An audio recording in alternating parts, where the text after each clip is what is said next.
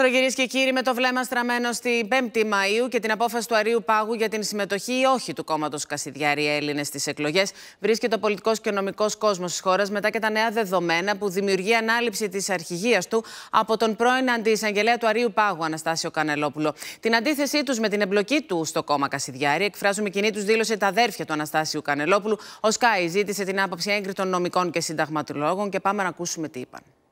Ιδιαίτερα κρίσιμη αναμένεται να είναι η απόφαση που θα λάβει ο Άριος Πάγος για τη συμμετοχή ή μη στις εκλογές του κόμματος Έλληνες που έχει ιδρύσει ο καταδικασμένος για την εγκληματική δράση της Χρυσής Αυγής Ηλίας Κασιδιάρης και το τιμόνι του οποίου παίρνει ο αντιεισαγγελέας του Αρίου Πάγου Αναστάσιος Κανελόπουλος. Θα έλεγα ότι ο Άριος Πάγος έχει καθήκον εφόσον πληρούνται οι προϋποθέσεις του πρόσφατα ψηφιστέντος νόμου ε, να αποκλείσει το νέο αυτό κόμμα σε δύο περιπτώσεις είτε εφόσον συμμετέχει ο ίδιος ο κύριος Κασιδιάρης είτε αν αποδειχθεί ότι αυτό το πρόσωπο πάλι, ο κύριος Κασιδιάρης, αποτελεί τον πραγματικό ηγέτη, την πραγματική ηγεσία του νέου κόμματος.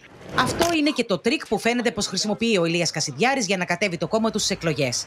Βάσει του πρόσφατου νόμου που ψηφίστηκε στη Βουλή, απαγορεύεται η κάθοδος στις εκλογές υποψηφίων που έχουν ακόμη και πρωτόδικες καταδίκες για ορισμένα αδικήματα, μεταξύ αυτών και εκείνα της συμμετοχής σε εγκληματική οργάνωση. Το Σύνταγμα δυστυχώς δεν προβλέπει απαγόρευση σε φασίστες να πολιτεύονται. Μπορεί κάποιος να βγει και να πει είμαι ο παδός του Μουσολίνη ή είμαι ο παδός του Χίτλερ και να πολιτευτεί. Στο μέτρο που δεν χρησιμοποιεί βία και δεν χρησιμοποιεί τάγματα εφόδου κακή ώρα όπως το έκανε η Χρυσή Αυγή όσα χρόνια λειτουργήσε έχω την εντύπωση ότι το πολιτικό σύστημά μας πρέπει να τους ανεχθεί όσο απεχθές και αν είναι αυτό. Ο πρώην ανώτατος εισαγγελέας, μιλώντας στον ΣΚΑ υποστηρίζει ότι δεν έχει προσωπικές επαφές με τον Ηλία Κασιδιάρη και πως εκλέχθηκε παμψηφή πρόεδρος του κόμματος Έλληνες. Έχετε συναντήσει τον κύριο Κασιδιάρη στη φυλακή; Με αυτά τα παιδιά συζήτησαν καταρχήν διάφοροι συνεργάτες δικοί μου οι συζητήσεις επικεντρώθηκαν ε, στο δυνατότητα